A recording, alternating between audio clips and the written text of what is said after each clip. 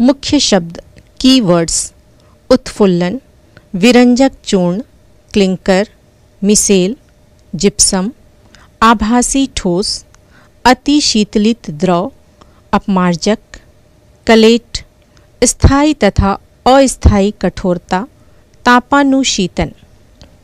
हमने सीखा, पहला, जल सर्वाधिक पदार्थों को घोल लेता है, इसलिए वह सार्वत्रिक विलायक कहलाता है। दूसरा, जल में कैल्शियम और मैग्नीशियम के हाइड्रोजन कार्बोनेट, सल्फेट और क्लोराइड लवणों की उपस्थिति के कारण कठोरता होती है। तीसरा, नमक में पोटेशियम आयोडेट मिलाकर उसे आयोडीन युक्त किया जाता है। चौथा, सोडियम क्लोराइड का उपयोग कर सॉल्वे अमोनिया विधि द्वारा सोडियम हाइड्रोजन कार्बोनेट बनाया जाता है। पांचवा, धावन सोडा के क्रिस्टल को वायु में खुला छोड़ने पर जल के नौ अणु निकल जाते हैं और सोडियम कार्बोनेट मोनोहाइड्रेट सफ़ेद चूर्ण में परिवर्तित हो जाता है। इस गुण को उत्फुल्लन कहते हैं। छठवां, प्लास्टर ऑफ़ पेरिस पानी से क्रिया कर कठोर होकर जिप्सम बनाता है।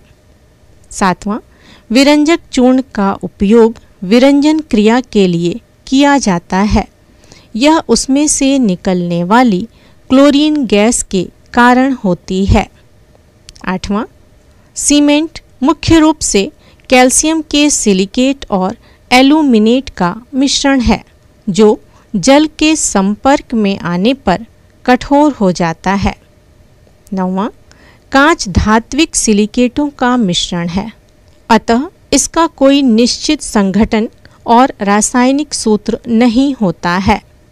दसवां, साबुन लंबी श्रृंखला वाले कार्बोक्सिलिक अम्लों के सोडियम या पोटेशियम लवण होते हैं।